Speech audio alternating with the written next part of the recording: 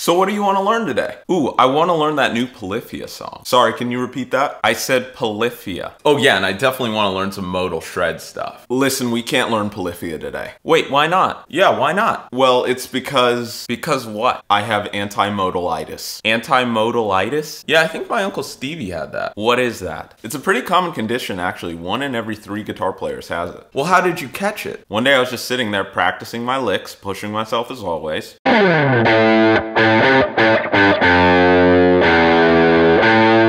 And started practicing my scales.